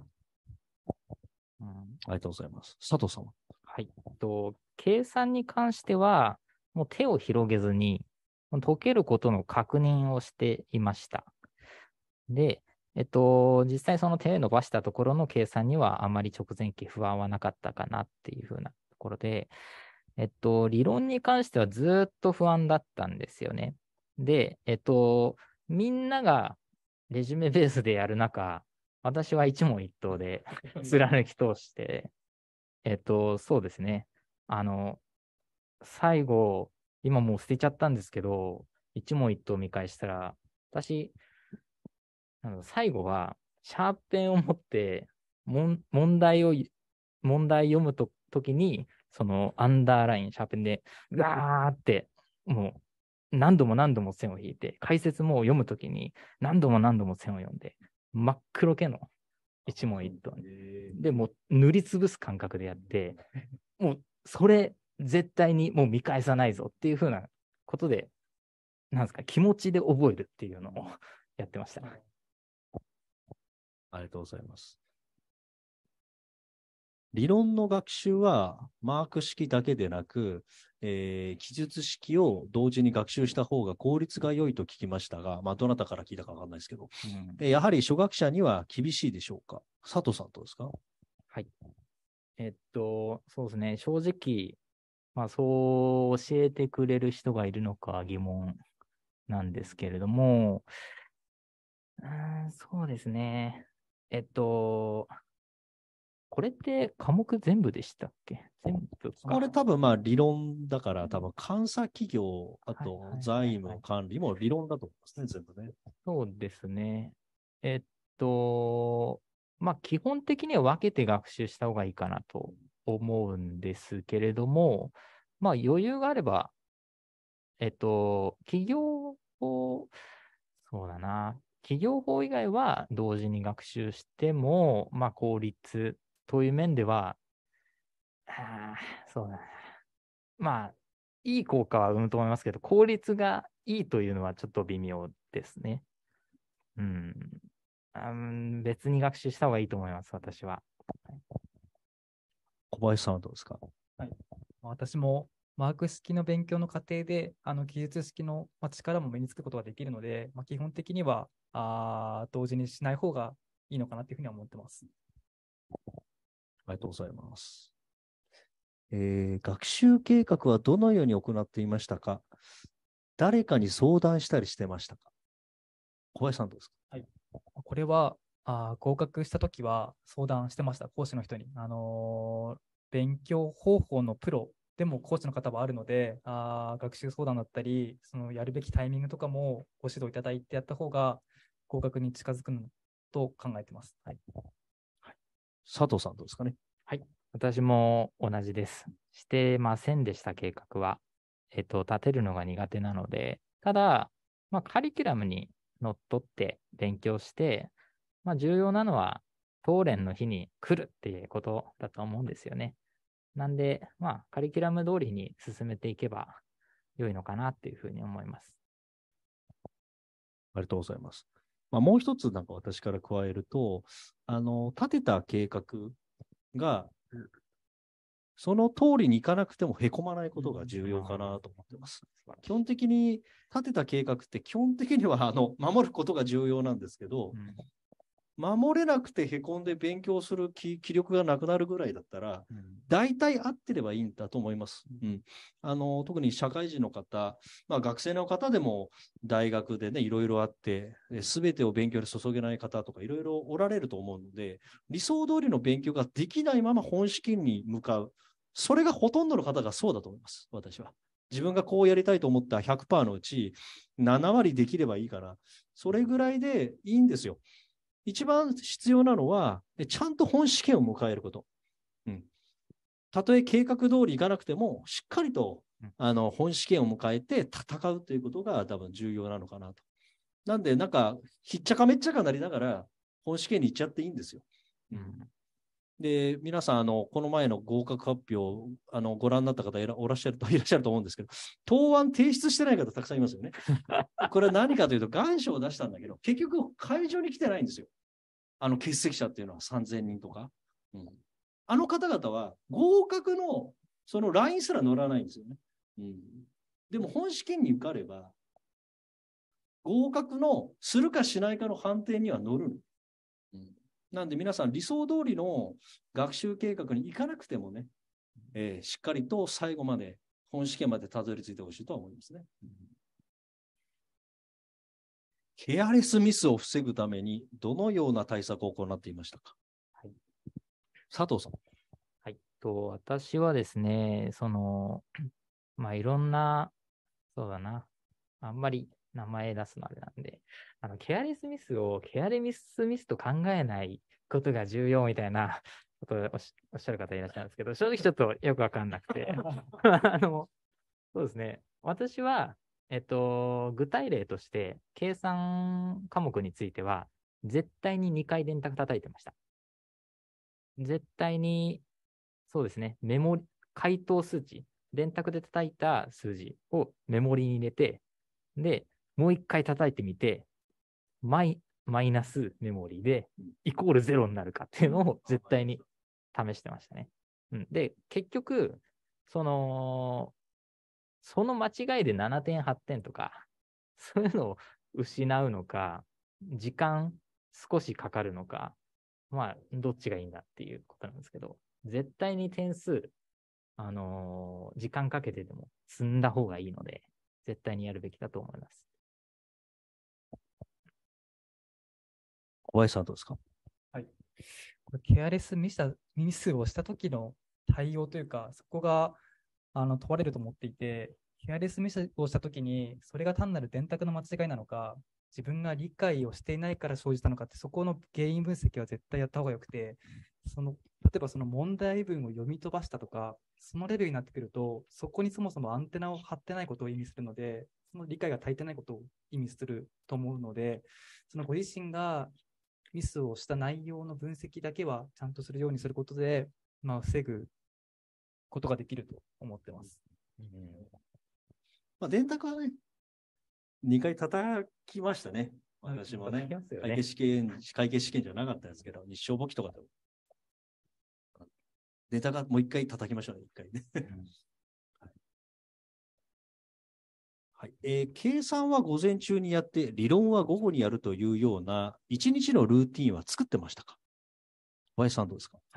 私はですね、あの、午前に理論をやってました。朝起きてすぐ理論をやってました。えーなぜなら、えー最初、午前計算やってたんですけど、その、計算にいっぱい時間使っちゃって、その後の時間、理論に割くことができなかったり、自分の計画通りに進まないことが多かったので、最初に理理論をこれだけ解くっていう、あの、量をですね、決めといて、もうそこから計算使うっていうふうにしてました。佐藤さんどうですか？はい。と私は真逆で、午前中に計算、で、午後に理論なんですけれども、なんかあの、全科目触れるっていうのを心がけてたんです。心がけというか、もう厳しい掟を置いて、もう全科目ふ触れられない日はなくしてました。もう、なんですかね。時間は、時間はというか、もうそれを目標にしていれば、もう勉強の時間も積まれますし、うんうん、もう、甘えちゃいけないんですよ。論文も？あ論文もです。ああ、それはすごいね。まあ、その分ちょっと30分単位とか、ああの、区切ってましたけど。それはそうありがとうございます。答練はスケジュール通り受けていましたか佐藤さん。はい。私はスケジュール通りに受けてました。うん。えっと、どうせ、もう全然学習できてなくて、点数そんな取れないから受けないっていう人いるんですけれども、もうそれだとずるずると、えっと、みんなから遅れるだけなので、なんとか行って、受けて、もう追いつくように頑張ってほしいなっていうふうに思いますね。絶対に遅れちゃうので。甘え、甘えはいけないんですよ。はい。ありがとうございます。小林さんはどうですか？私も受けてました。受けて、復習は追いついてませんでしたけど、受けに行って、ボコボコにされてました。はい。えーレックの答練難しいですからね。あのレックの答練はあの気持ちを折るためにあるんじゃないかと。本試験がそんな、本試験がそんな難しく感じないみたいな感じですけど、ね。まあ、答練はね、スケジュール通り。まあ、社会人の方でちょっとその日行けないっていう方であればね、あのー通学の方選んでたら、まあ、あの、支店に来れば、その会場に来ればもらえるんで、もらってすぐ、あの、喫茶店とかで解くとかでもいいんで、うん図書館で解くとかにいいんでね。ガヤガヤしてるとこがいいですね。うん、あ、そうですね。はい。うん。ガヤ、ガヤがしてる方がむしろいいですよね。むしろいいですうん勉強のモチベーションが下がったときは、どのように乗り越えていましたか？さあ、小林さん。私は海外ドラマや漫画を見てました。ああ、海外ドラマで皆さんスーツとかってご存知ですか？スーツっていう法律事務所のドラマがあるんですけど、それはもう、あれ弁護士の話なんですけど、あの、テンション上がるので、そういったので、こう、モチベーション上げて取り組んでました。ありがとうございます。佐藤さん。はい。えっと、そうですね。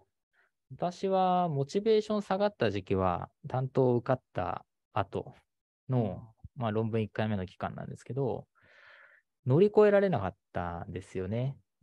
乗り越えられなかったので、まあ、やっぱりやるしかないんですよね。私も知りたかったですけど、まあちょっと、いろんな人に聞いてほしいですね。すいませんって感じなんですけど。うん、ただ、あの、ゲームはやめた方がいいです。私の経験として、論文1回目は12月担当受かりました。で、まあ、受かったことが絶対に分かってる、その自己採点だったので、ここから1月から4月ぐらいまで、メイプルストーリーっていう オンラインゲームをやって、もう楽しいんですよね。そういうの時って。えですので、ゲームはあんまや良くないのかなって思います。終わりがないって。はい、ありがとうございます。まあ、ね気分転換はいいんですけど、なんかこうずっと続いちゃうような、ねまあ合格した後にやれますからね、えー娯楽はね。はい。一日何時間勉強するなどの目標は作っていましたか？佐藤さん。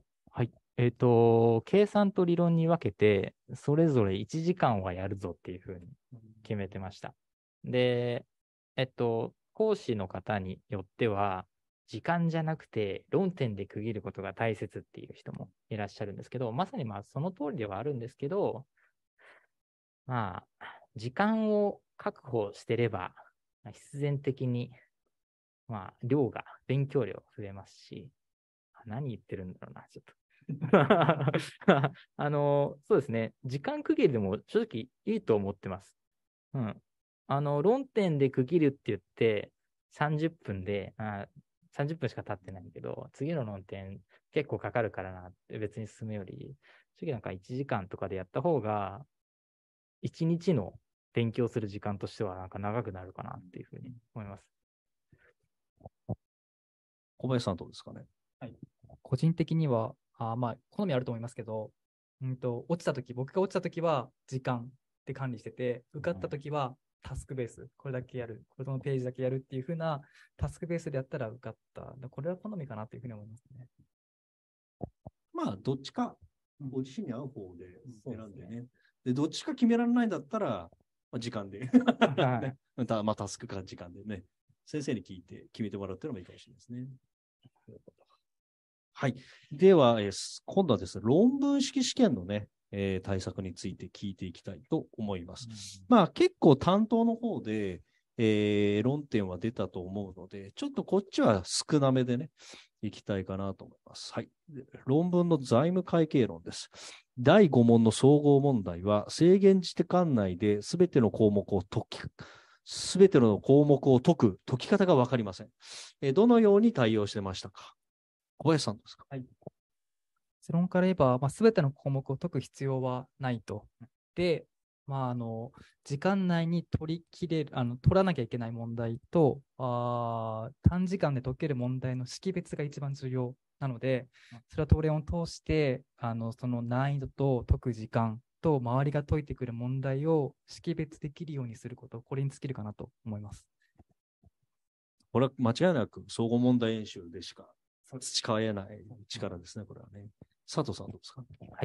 と小林くんのおっしゃる通りだと思うんですけれども、えっ、と、第5問の対策としては、まあ、全部解くっていうよりも、本当にその識別のが重要で、例えばその連結会計で皆さんその売上原価を取ろうって言ったときに、じゃあ、売上原価だけスポットで求めることができるかっていうと、今ちょっとどうでしょうって感覚なんですけど、あれって売上原価って、あのー売上高と売上原価の相殺があって、あと売上原価どこ動くかな、未実現利益の承継で動くな、みたいな、そういったことを解こうと思った感情について、その頭の中でパンパンパンパンって思い浮かべられることが論文では重要になるので、まずそういった学習をあの皆さんにはしていただきたいなっていうふうに、第5問の対策としては思います。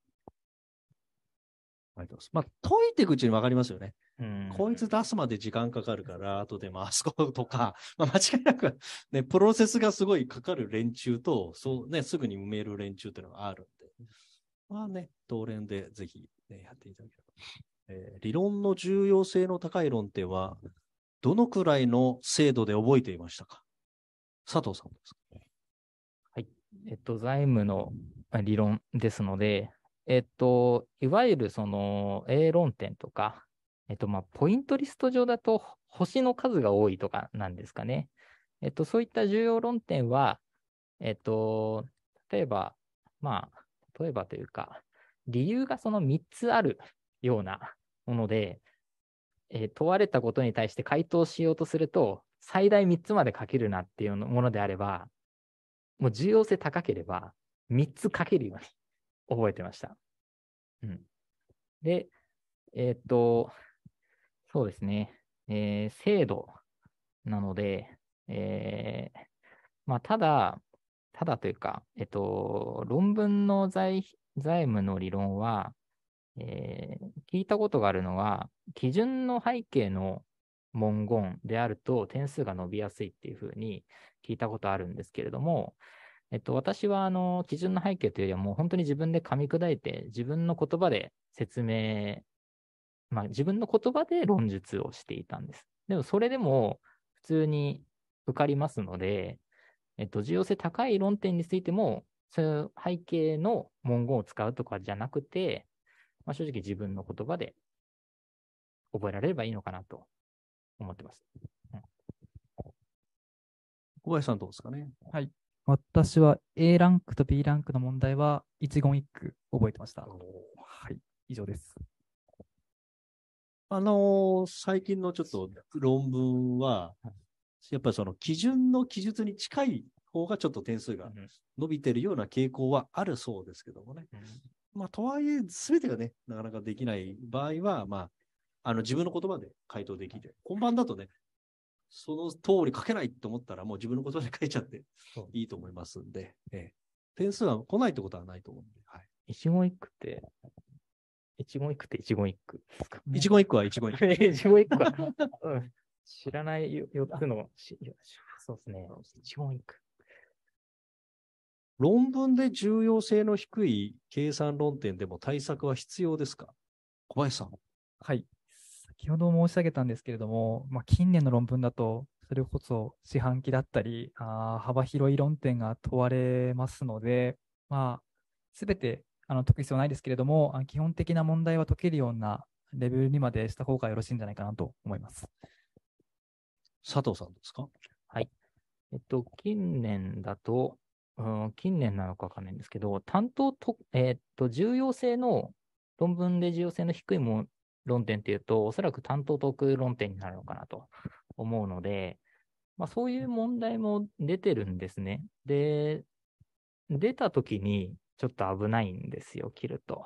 ですので、えっと、皆さんには、担当の知識も、まあ、計算は維持してほしいっていう風なところは正直あります。で、結構、うん、切っちゃう方もいるんで、アドバンテージかなと。で、えそうですね、ごっぱちで勝つには計算かなと。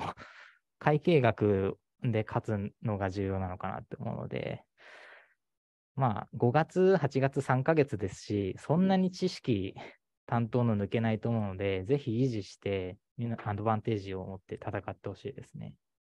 偏差値でなんでね、切ると。あまあ、あの、たで5月担当、8月ローで、こう、ダブルで合格された方は、基本的には会計学の点数がある程度取れてる方がほとんど合格されてるので、まあおっしゃる通りですね。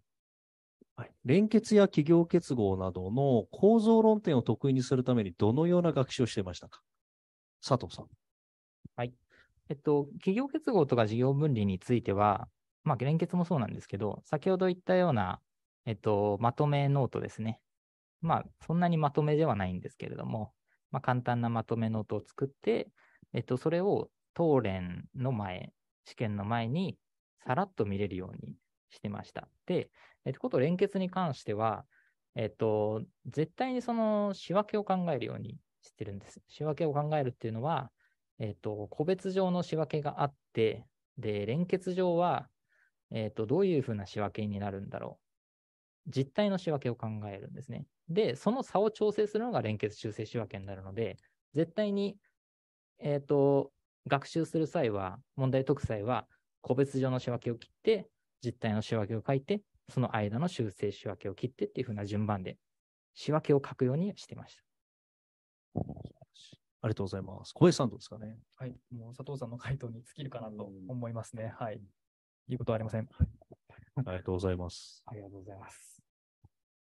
答練で出題されたものは完璧に覚えた方が良いですか？小林さんどうですかね？まあこれも、あの、ランク次第ですかね。あの、A ランク、B ランクであれば、あー完璧に覚えた方がいいかなと思います。佐藤さんどうですかね？えっと、何でもそうなんですけど、完璧に越したことはないと思うんですが、えっと、東連の使い方としては、その論文の形式になれるために使ってほしいっていう感じですね。普段使ってる問題で、えっと、知識の維持だったりとか、学習はしてもらって、論文の解き方の勉強をするために東連は使った方がいいのかなって思います。ありがとうございます。はい。次、論文の管理会計論です。えー試験中の時間配分で意識していたことを教えてください。本番ですね。小林さんどうですか？私はかなり苦手な分野だったんですけれども、あの、管理会計は大問ごとの偏差値が出るので、その大問丸々空欄だと足切りになっちゃうぐらい不利な状態になりますので、最初のスタートしてから3分から5分ぐらい使って問題全部見渡して、自分が解ける A ランクの問題と記述の問題をピックアップして、それだけをまず埋めるっていうのを作業してました。はいありがとうございます。強みってやつですね。あ、言わないんですかね。私は強みって言ってました最初。どんな問題かなみたいな。うん佐藤さんどうですか？はい。えっ、と、大問1、2で出てくるので、大問1で1時間、大問2で1時間使うぞっていうのを、まあ目安に決めて、ただ、ただというのが、まあそれを決めてるのは、あの、どっちかで0点を取ったら落ちるので、あのー1点は取んないといけないんですよ、どちらか。なので、大問1を解いてるときに、あ、すごい解きやすい。あ、これ全部解いちゃおうってなって、ほぼ時間使い切ってしまったってなったら、もうそれは落ちるので。なので、1時間経つぐらいで、えーまあ、区切りのいいところで第2問に移って、あ大問、大問2ですね。大問2に移って、えっと、ちょっと難易度見極めてもらって、なんか3点とか5点しか取れないような 大問で時もあるので、もうそういう会話も、なんとか時間を使って、あの1点でも取るぞって感覚でやんないといけないので、簡単だから時間をたくさん使っていいっていうものでも、まあ、そういうのも一応言えないのかなっていうふうに思いますね。ありがとうございます。理論対策は具体的にどのような勉強をしていましたか？佐藤さん。はいえっと、これは、今日一番言いたかったことなんですけれども、ベックのこう8目標は、えっと、論文のその圧縮講義ですかね。というのがあって、えー理論の、理論じゃない、管理の圧縮講義は2コマ、2コマ、えー6時間分ですね。で、えっと、二宮先生が、その重要だと思った、これだけは押さえてほしいってもら、思った問題と回答をレジュメにして、それをひたすら解説していく時間なんですね、先生が。で、普段の、えー時間のある方用のグレードアップ講座っていうのは、えーっと、ロジカルフロー形式でこう勉強していくんですけれども、正直私がやっていて思ったのは、ロジカルフローで勉強していくよりも、問題に対してそのまま本試験で書く回答文を、で覚えちゃった方がいいと思うんですね。回答文の中で、そのロジカルフローに使われているキーワードとかを、まあ、重要な色とかで引いて、キーワードは押さえつつ、文章で覚えるっていう風なのがいいと思うので、それを、それを、そうですね、それを使って、であとは、ちょっと長くなっちゃうんですけど、あの、音声ダウンロードできるんですよね。えっ、と、通通信だとですかね。あ DV あ、できますかね。で、音声ダウンロードして、私はひたすら1.5倍速にして、二宮先生のその6時間の、まあ6時間の中でも理論の解説は、あのーもうちょっと少なくななるんですけど、それをずっと歩きながら、そうですね、通学の歩き時間とか、歯磨きの時も聞いてましたし、もう日常で耳が開いてれば聞いてました。うん、で、ほぼほぼ理論に関しては試験で取れたかなっていう風な感覚なので、うん、すごいお勧めできます。ありありがとうございます。優勝。小林さんどうですかね？私も耳で聞く作業はしてました。あの、シャワーのタイミングとか、あー常に耳が開けば講義を聞いていたかなと思います。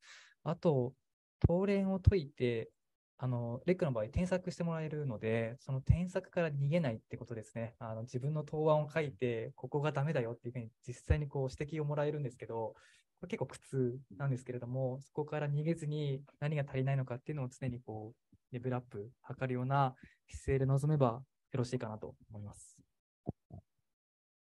シシャワーの時間に耳ですか？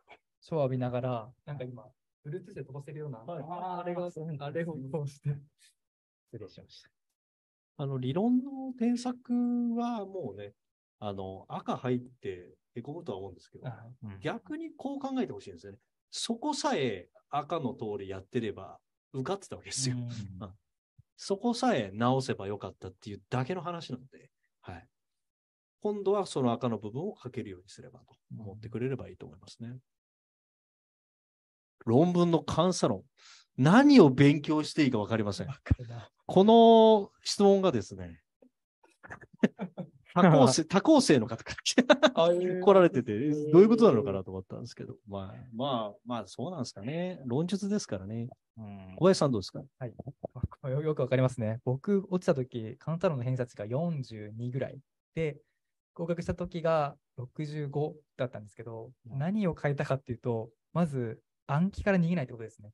基本的な定義、あの精神的独立性とか、そういった定義は必ず暗記するようにはして、で、かつ、それが第1問で問われる内容については暗記をは重視していて、で、あと事例問題、第2問の事例問題については、答練上位者の回答であったり、答練の公表ですね。先生がどういったこと、どういった解放プロセスで、あの、回答してほしかったのか、それの公表を必ず読むようにしました。そしたら、こう、本番、点数が伸びたので、うん、そういった取り組みがよろしいんじゃないかなと思います。はい。佐藤さん。うんおっしゃる通りですね。えっと、担当は広く浅くのイメージですね。で、えー論文は狭く深くっていうイメージなんですけど、正直その担当で勉強していた内容は、その論文とあまり変わらないと思うんです、監査論に関しては。で、えっと、第一問で出るのって、まさにその定義であったりとか、精神的独立性であれば、精神的的独立性が必要になった理由とか、まあ必要な理由とかですね。まあそういったことを書かせるんですけれども、それって担当で勉強してるじゃないですか。ただ、皆さんはそれが文字に起こせ、まあ起こせる方もいらっしゃるかもしれないですけど、基本的にその文字に起こすか起こさないかだと思ってるんですよね。うん。ですので、その、やってることは変わらないんですけど、ちょっとアプローチを変える感じですかね。その、結論を覚えてきたけれども、その結論の理由を今度は、えー文字で起こせるように覚えていこうっていうのが論文の勉強方法で、ですね。はい。以上です。はい。ありがとうございます。なんか、プレトーレンっていうのが、論文のプレトーレンというのがあるんですけど、監査論と企業法だけ理論に特化したもので作られてるんですけども、それはまず小さい、あの、少ない量の文章を書かせる問題とか、穴埋め問題とかで徐々にこう書けるようにしていくっていう。全、監査論と企業法は15回あるんで、ちょっとそれはお勧めしますね。で、そのプレトーレンの方でも実は本試験問題とあの似てるやつがたまに出たりするので、これはちょっとね、論述苦手な人はちょっとね、お勧めしますね。はい。えー事例問題はどういう対策をすればいいのでしょうか？佐藤さん。はい。えーっと、正直これはよくわかんなかったんですけれども、私がやったことは、過去問題集の事例を解いて、まあ、東連の事例を解いて、えーレックの模試、あと他校さんの模試の事例問題を解いてってやっていくと、何パターンかそのパターン化できるんですよね、事例問題は。ですので、あ、これやったことあるなっていう風なまあ、感覚にお陥るというか、そうですね、そのパターン化したものが、まあ、論文にその出るとは限らないですけれども、まあ、本当に私はやり方わかんなかったので、そういうふうにパターン化して、えー覚えてました。そういう対策をしてました。ひたすら解くっていうことですね。小林さんどうですかね？私もそうです。パターン化はしてましたね。あの、模範回答だったり、答練上位者の回答から、まあ、いいキーワードとかをピックアップ、ストックしておいて、まあ、それを真似したりですかね。例えば実証手続きの請求書の閲覧とか、そういったこう、ワードをこう常にこう出せるようにしておいて、答練上位者のとか、あ回答の文言から自分に合うものをこうストックしていった、そういうイメージですかね。ありがとうございます。えー、監査基準の文言は暗記した方がいいですか？小林さんどうですか？さ基準か、本番見れないやつですよね。うん、だからこれは暗記してましたね。はい。ものによってはしてました。はい。佐藤さんどうですか？そうですね。えっと、監査基準の、まあ、基準というよりは、設定全文が 重要なのかなと。監査基準のこの規定が設定された背景は何ですっていうのが設定全文載ってますので、これも本試験で見れないんですよね。だから、そこに、なんですかね、第一問で出てくる理論問題なんかは、そういった背景から出てくるので、まあ、設定全部は暗記、まあ、結構レジュメに出るようなやつは載ってると思うので、そ設定全部を直接見に行くのがいいかっていうのはあれですけど、まあ、そうですね。設定全部はまあ、読んだ方がいいっていう感じですかね。ちょっとね、お時間が少しなくなってきたんで、まあちょっと巻きでいきましょうか。論ずれ。論点がずれるってことですね。論ず論点ずれて書いちゃうってことですね。論ずれを防ぐためにどのような対策をしてましたか？佐藤さん。えっと、座標とかは、えー結論、背景なんですけど、監査論って結構その結論があって、理由があって、またその理由があって、で、さらにその理由があってとかあると思うんです。で、そういう場合って結論から書いて、なぜならから始まると、ちょっとぐだぐだぐだぐだ長くなっちゃうので、監査論の回答としては、正直、理由、理由、理由、その理由、その、ん理由の理由、理由の理由の理由、理由の理由、理由、あ違うか。まあ、理由、理由、理由、結論ですね。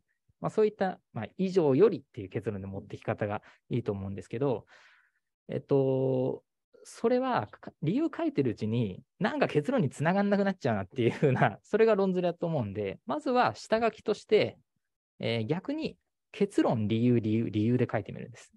それを下書きで書いといて、実際にそれを下から清書していくっていうイメージで書けば、論ずれを防げるのかなと思って、それを対策はしてました。小林さんどうですかね？私は、あー問題文を分けるようにしてて、何が問われているのかっていうのと、どういう方向から書けよって問題文にこう指定される。あ例えば、財務諸表監査であれば、あ財務諸表監査の必要性を国民経済の観点から書きなさいっていう問題が、書く問題あるんですけど、財務諸表監査が必要、なんで必要かっていうのが問われるその結論部分。で、国民経済の発展のためにっていうのが解放、この観点からあ解放せよっていう試験委員からの問い、うんこの問いと何が問われてるのかっていうのを分けてあの問題文を見るようにしたら、論ずれのが少なくなりました。うんうんありがとうございます。まあ、結構結論がずれてしまうとか、結局何書かしたいのかっていうのを、その問題見た段階で自分で決めないといけないですよね。でそれに向かって文章を書かないとってことを、まあ、それはまず大前提そうそうですね。ですよね。お二人のね、お話聞く企業法の論文ですけども、ロングレ答練が当たるって本当ですか？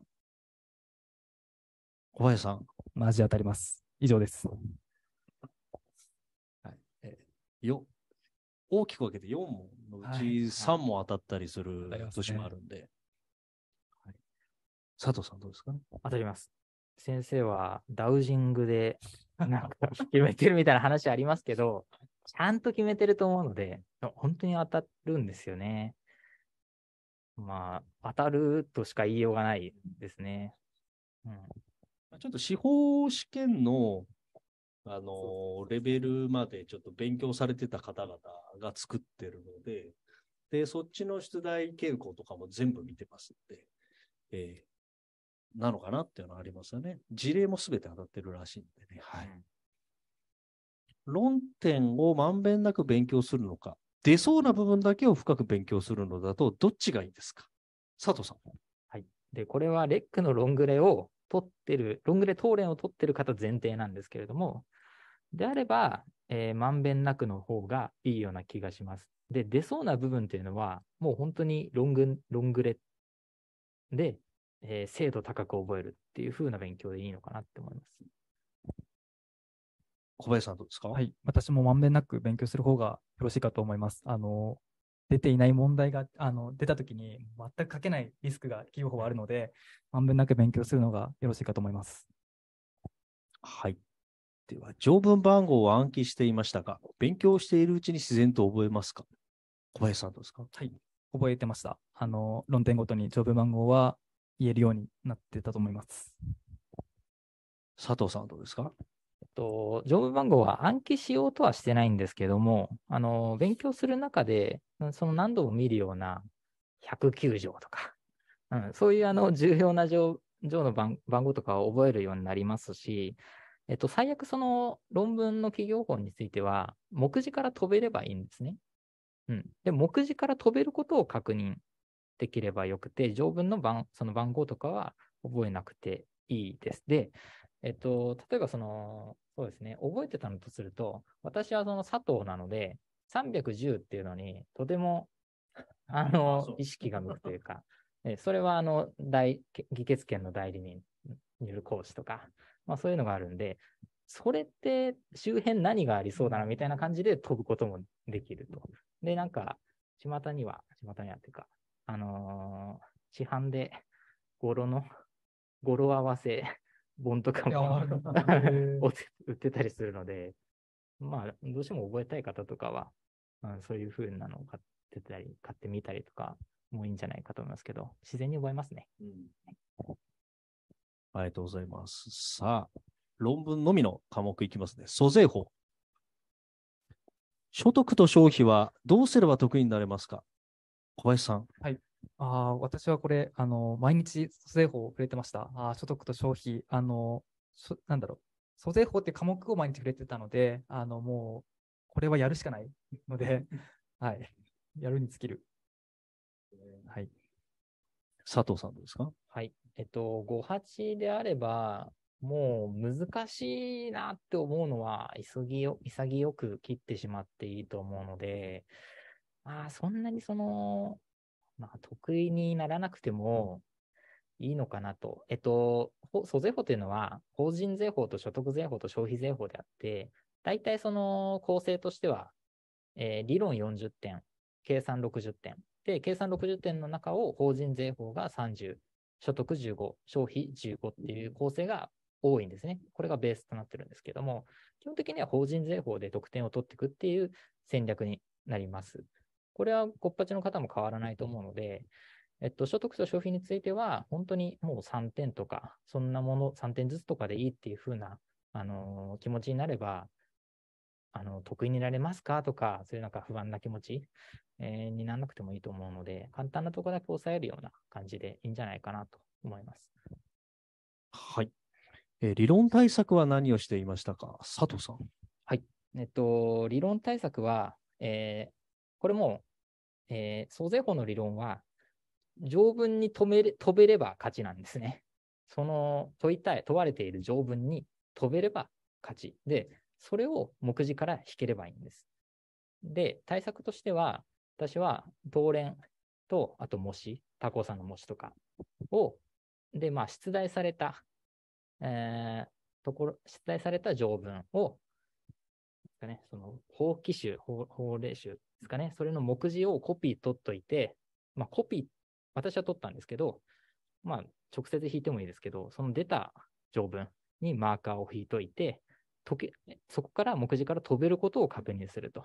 で、飛べないものであれば、その目次のところに書き込んで、うん。で、えっ、と、まあ、ポイントなんかもその目次に書き込んでいけば、最終的に目次だけ見るっていう学習にも、でもいいと思うんです。私は最終的に目次だけを見る学習を理論対策ではしてました。はい。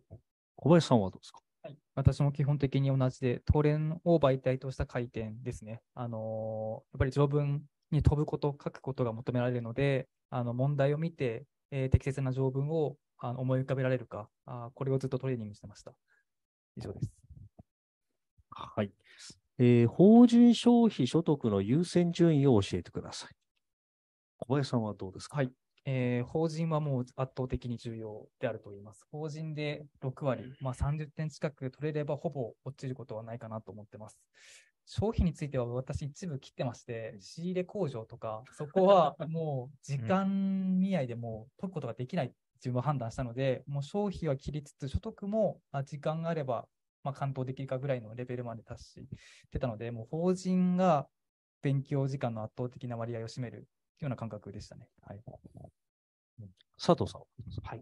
あの、その小林くんの言ったあの法人の6割っていうのは、えっと、18から20点ぐらい。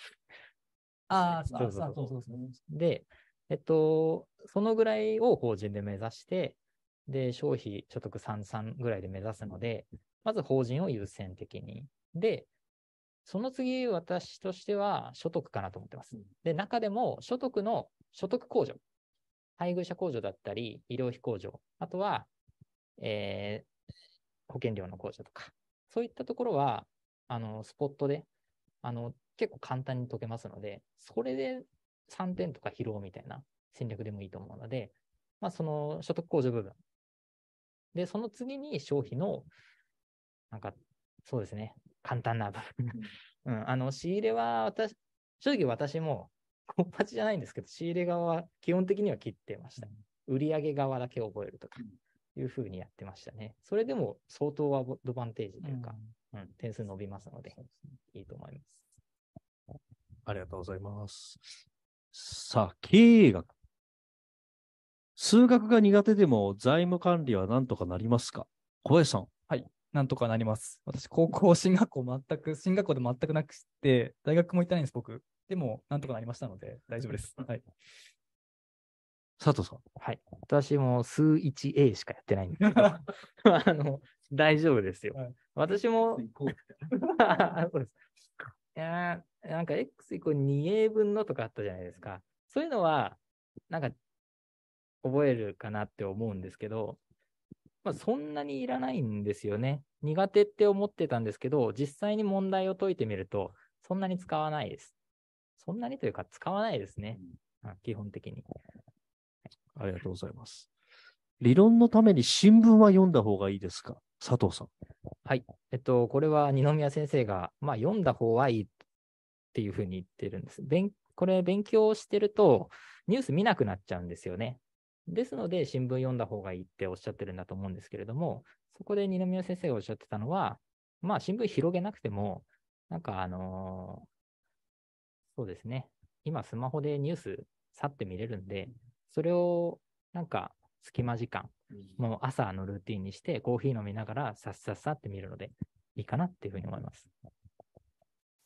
小林さんどうですか？はい。私もそうですね。その契約の理論は特に、あの、試験委員の研究分野であったり、その試験の好みが色濃く出る分野でありますので、まあ、そういういろんなあ網羅的にアンテナを張る面でも、まあ、読んだ方がいいですけれども、改めてこう、学習のために新聞を取るとまではしなくていいんじゃないかなとは思います。ありがとうございます。はい。最後の、あれですね。はい。えー、5月担当と3ヶ月後の論文同時合格を狙う場合、どのように勉強すべきですか？まあ、ざっくりという感じですかね。小林さんどうですか？はい。えー、1月、まあ、3月ぐらいまでは、あ総勢経営に時間を割けるのであれば、割くべきかなと思いますね。で、ある程度、こう、論文と被る財務については、財務とか管理については、あ論文を見越した上で、担当をしっかり固めて、計算かな、アドバンテージ取れる分野ですので、計算をしっかり固めてっていうスケジューリングがいいんじゃないかなと思います。はい。佐藤さんどうですかね？はいと、スケジューリングについては小林君の言う通りで、えっと、もう気持ちの面として、その、よく2頭もの1頭目ですってあるじゃないですか。で、正直、まあ、そそうなるかもしれないっていうことの覚悟を持っていただきたいんですね。ごっぱちっていうのは、正直、12月担当合格者と比べると、論文の勉強時間短いんで、なんとか、あの、ギリギリで攻めるしかないんですよ。で、担当の合格ライン71%だとしたら、71、2、3を狙ってほしいんですね。もうギリギリの担当の力で、それをまで上げて、それ以外を80%まで伸ばすんではなく、論文に当ててほしいっていうふうな。もしかしたら落ちるかもしれないっていうふうな、まあ、リスク覚悟で挑むのがごっぱちっていうことなので、まあそういう気持ちで臨んでほしいなって思います。私から言うと、おしあの、お伝えすると、担当の勉強がこうスムーズにできなくなっている状態だったら、もうすっぱりと担当に僕は専念すべきかなと思ってますね。うん、4月手前ぐらいに、担当の勉強もなんかくちゃくちゃで、うん論文もくちゃ くちゃくちゃで、なんか、担当受かる気しねえなとか、そんな感じだったらさすがにね、うん、あまりにも担当の勉強が悪い状態であれば、ちょっと担当に専念すべきかなとは私はちょっと思いますね。まあ理由としては、担当受からないと論文受けれないですからね、そもそもね。はい。はい。では最後ですね。何かご質問がある方、この合格者にね、挙手で何かありませんかね、ご質問。どうぞ。カンサロンの担当、はい。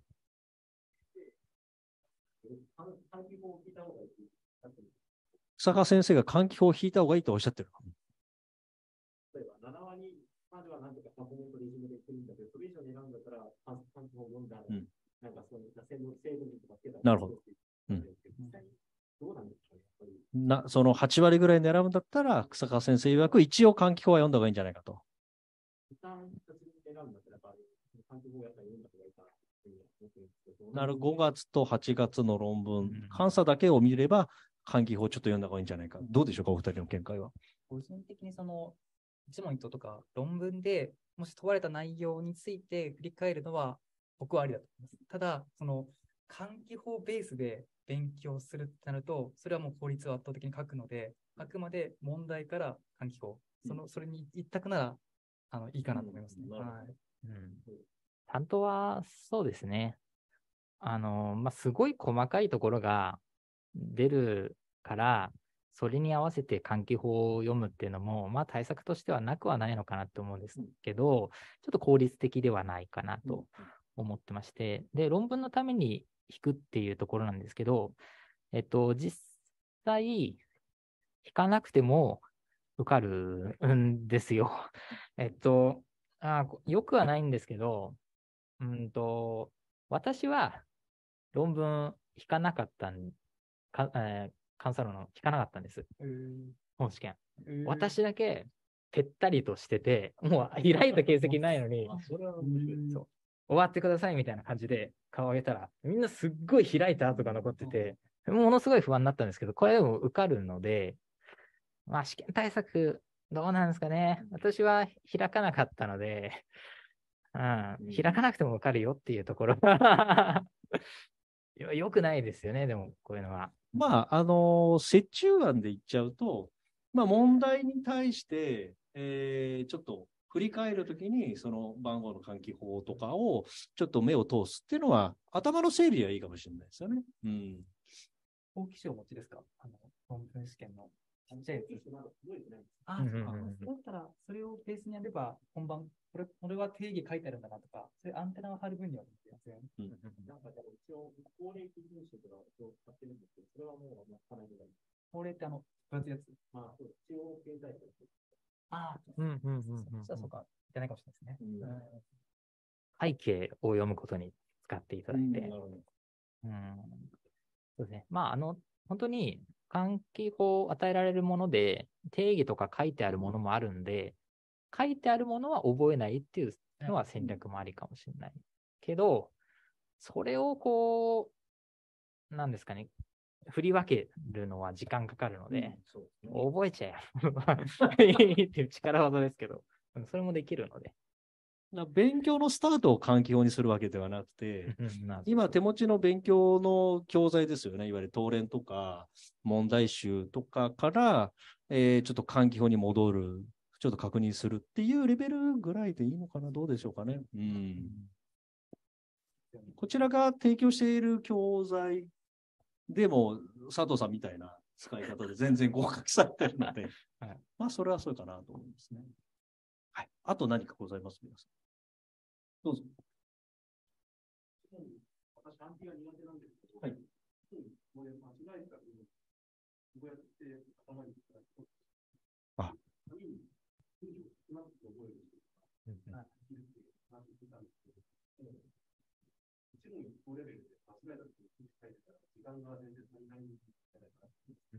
一問一答で間違えた問一答で間違えた問題に対して、まあ、解説が書いてあると。そっちをなんか書きながら覚えてるのかって、どういう間違えた問題に対してどういうフォローをしてたかっていうんですか。と私は一問一答は基本的に章ごとに何回も回すとうん。第一章を回しました。終わりました。で、5分後にもう一回やるみたいな。あの、大体の人ってざーっと一周するんですよね。ざーっと一周するから、また第一一章を見るときに、で、いつかっていうと2週間後とかそういう感じになっちゃうんで、もう当日でいいと思うんですよ。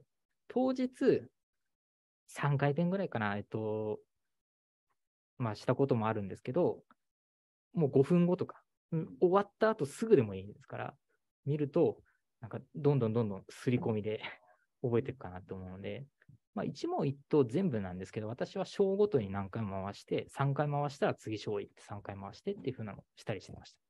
間違えた問題の解説あるじゃないですか。5。なぜ誤りかっていう説明書いて。それはなんか、軽くささっと書きながら覚えてました。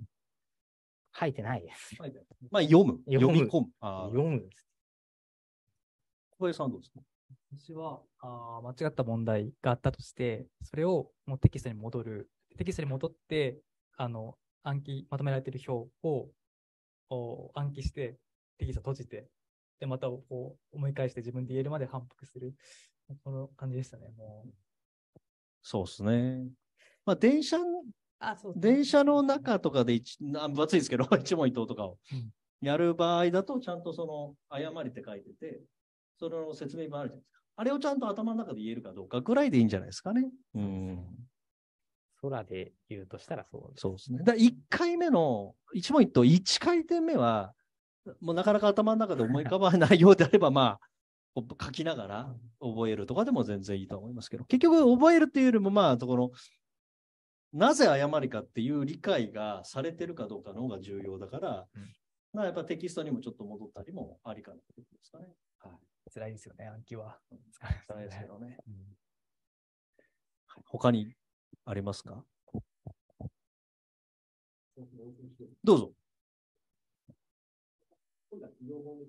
企業法はい。はいはい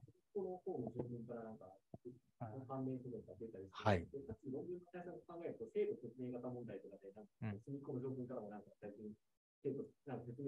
はい。なんか、マニアックなやつが出ると。ええ。聞いているんですけど、それってやっぱり、両方の学習もテキストとか一問一答ベースじゃなくて、論文ベースでやった方がいいかっていう。あ勉強は、その、最近の企業法はうんマニアックな論点出るから、い条文ベースの勉強がいいのかっていう、どうですかね？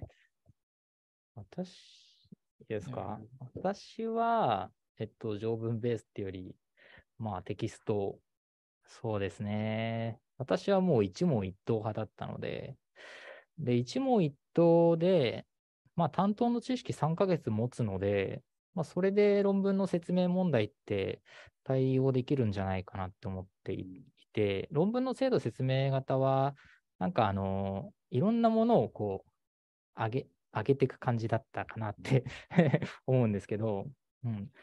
それは、そうですね。別に好きな方法で、ただ条文を素読とかそういうよりは、まあ、レジュメ一問一答、自分なりの今まで通りでいいんじゃないかなって思います。で、判例に関しては、えっと、ごっぱちの皆さんなので、えっと、正直、企業法の論文対策は、やるかどうかって言ったら5月の後でいいかもしれないんですけど、もし余裕があれば、その論文対策もしておけば、えっと、判例学習。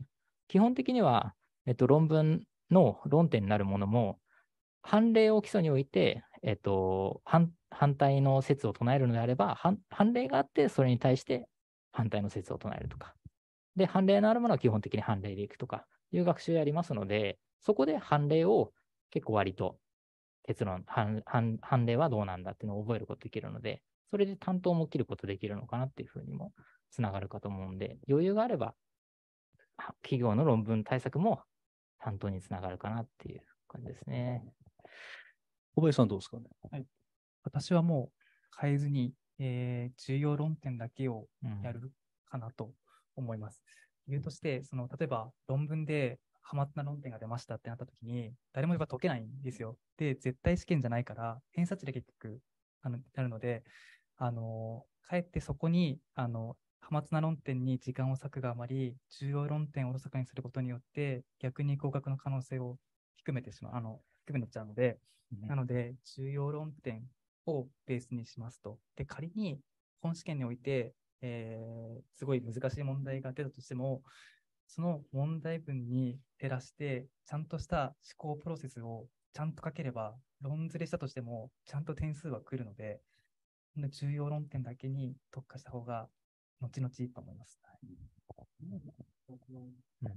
情報が必要になってますけど、今、その情報に関しては、なん。かやっぱり、論文、あの、担当終わるまでは、なん。か、論文のあん。まり勉強しない方がいいみたいな、そういう加藤さん。おっしゃったと思うん。ですけど、なん。ですけど、この、それっていうのはやっぱり、一応、なん。ですかね、5月担当までの勉強、勉強なん。か、そうしたら、その、まあ、余裕があれば論文の勉強もしてって感じで、一応、まあ、ベースは基本的に質問共闘テキストの読み込みで、でかつ、合格担当後でも一応、グレートアップトーレンが結構的中率が高いから、それを回すから結構、膨大に伸びたら、そうやった方がいいって言ってうん、どうなんですかね。まあ、企業、ああ、まあ、企業法に関して言うと、まあ、基本的に担当と論文の対策がこう大きく分かれてるとは思うんですけども、森村先生の一応考え方としては、あの結構問われるものが結構違うから、知識は使えるんだけど、論文って結構それ特殊な訓練が必要になるわけですよね。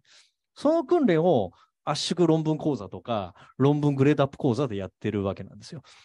で、前提知識っていうのはやっぱり担当とかで養ってほしいという考えなんで、まあ、あの、テキスト、まあ、講義受けてテキストの読み込みと一問一答問題集、回転。この知識をこうどう書くかっていうのを論文グレードアップ講座とかのでちょっとやって論文グレードアップ答練で練習するっていう、この 2, 2つの軸になるんで、そこの、まあ、バランスじゃないですかね。ちょっと担当突破にちょっと力を入れたいんだよ。やっぱりあれば、やっぱテキストの読み込みと一問一答問題集にもうちょっと時間を割かざるを得ないし、うん、っていう感じじゃないですかね。うん。イメージは別科目ですもんね。両方はちょっとね、なんか特殊ですよね。担当と論文だとね。うん。なんとなく伝わりました？うん。うんやりたいですか？論文の学習も。企業。僕はすごい、なんか、いろいろそのことで相談したんですけど、うん。僕が先生はでも、なんか、両方に関しては、なんか、あんまり担当がなんか担当の人がいいように。まあまあまあまあ、そうですね。まあ、両方もまあ、別に論文の対策やっていいんじゃないかなので、そういう、そういうのが分かんなくて、で、まあ、今日、まあ、今日までちょっと、まあ、言うと、頭の中で。ああ、そう。両方交互にあんまり僕に手を持ってあんまり勉強やってる。ちょっと抜けてるから、ちょっと怪しいかなってみたいで。まあいいんじゃないですかね、別に。そうですね。担当にちょっと特化して。はいうんまあ正直論文の企業法で勉強して担当のためになるのって、なんか判例ぐらいかなっていうふうな感覚があるので、うん。ですねじゃあそろそろ皆さんよろしいでしょうかね。最後なんかあります？ご質問とか。大丈夫そうですかね？はい。じゃあちょっとカメラをね、カメラというか、これちょっと。はい。えー最後に、あの、レジュメのところにですね、的中実績とかスマホで見れるんで、ぜひ見ていただければと思います。あと、5月担当、8月論文のコースとか、あと担当のパックとかが1月末まで15%割引中なんで、ぜひご利用いただければと思います。あと、大学生の方で担当に受かっている方はですね、えー論文合格コースですね、大学生応援のものが7万5千円で1月末まで販売中なんで、えーご利用いただければと思います。はい、本日は以上になります。ご清聴ありがとうございました。ありがとうございました。お二人ともありがとうございました。はい。皆さんありがとうございました。失礼します。